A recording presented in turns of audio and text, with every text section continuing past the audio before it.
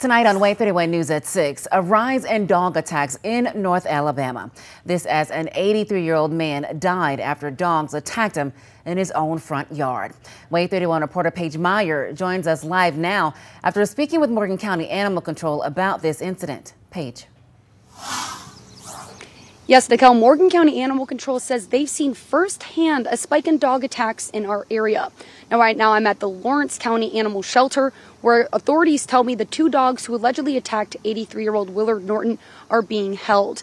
Now, I have tried to reach out to the shelter multiple times today. However, I have been sent to voicemail. I've been trying to figure out what will happen to these two dogs. Now, the Morgan County Animal Control did tell me that stricter leash laws may just help something like this from happening again in our area.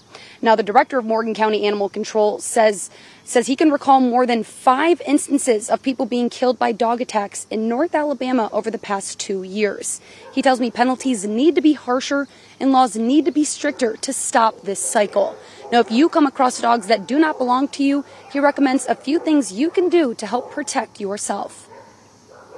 If you're at home in your yard and you're working outside and an aggressive animal comes towards you, the best thing that you can do is get something between you and that animal.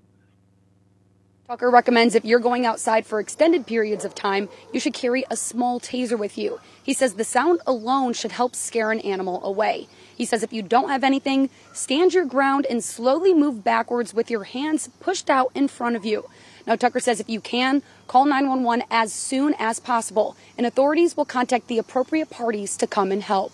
Now, as far as uh, what is happening with this current dog attack, authorities say that this investigation is still ongoing. Make sure to stick with WAAY 31 News for updates. Reporting live in Lawrence County with coverage you can count on. Paige Meyer, WAAY 31 News.